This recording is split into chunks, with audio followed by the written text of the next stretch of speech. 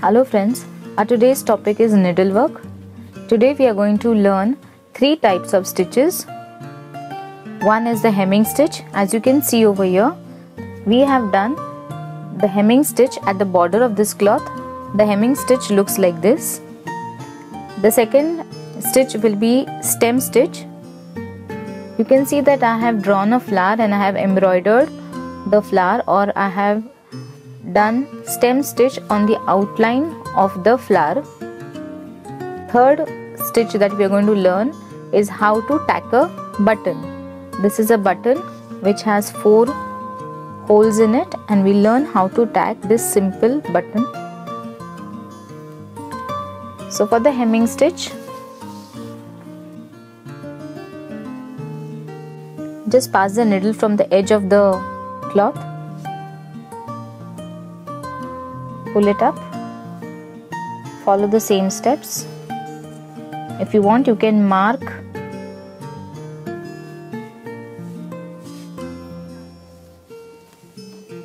Some dots a series of dots on the edge.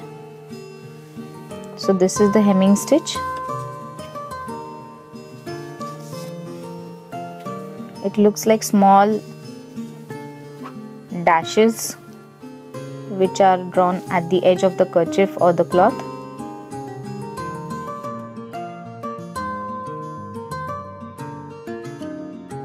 And we'll tie a knot.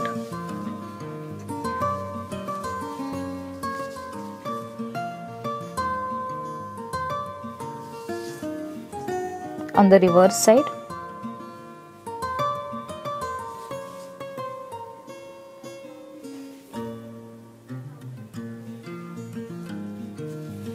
Now by, by now we've learned how to tie a knot. If you still need some guidance, please refer to the initial pages of your art book.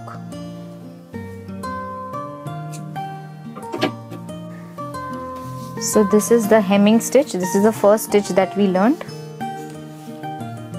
Now we'll learn the stem stitch. The stem stitch looks like this. I've drawn a flower and I have bordered it with a stem stitch.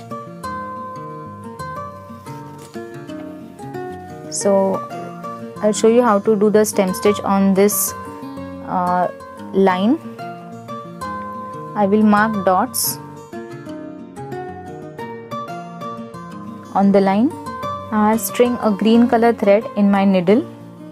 We'll start from this side.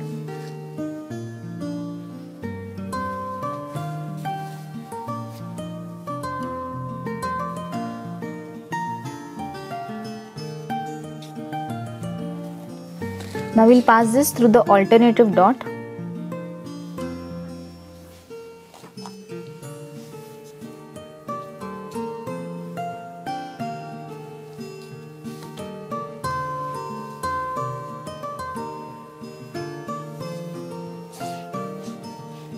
and then remove the needle from the rear side in the second dot see first dot third dot and the second dot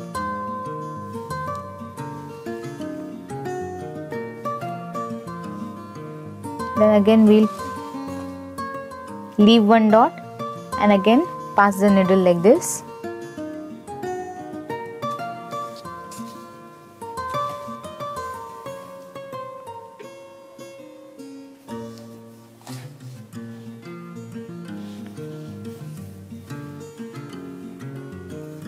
Then we'll again take this from the second dot and repeat the step.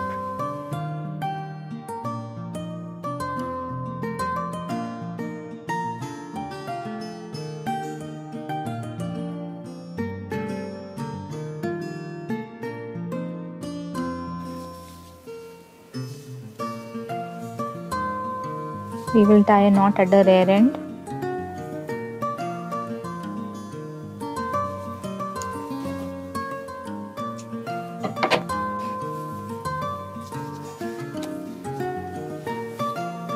we we'll repeat the stem stitch.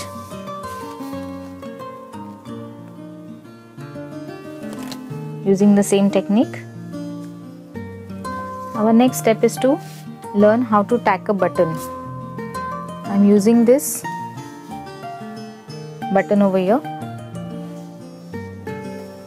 as the center of the flower I'm passing my needle from the center putting the button in one hole. So uh, my needle is passing through the first hole.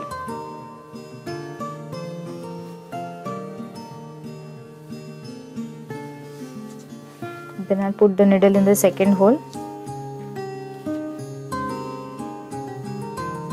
And secure it like this.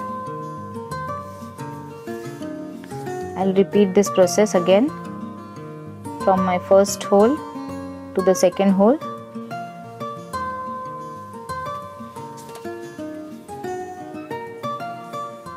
I'll repeat the same process with the third and the fourth buttonhole.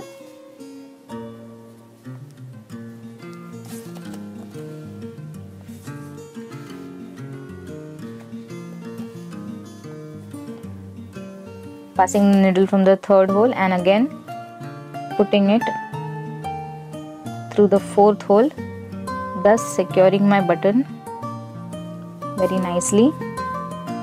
If I repeat this process then my button will be secured very nicely.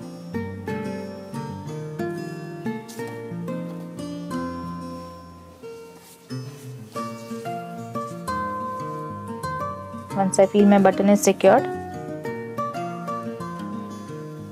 I will put a knot on the back side of the rear side of the cloth.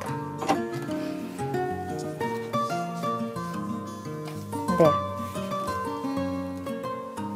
Our hemming stitch stem stitch and tacking a button is ready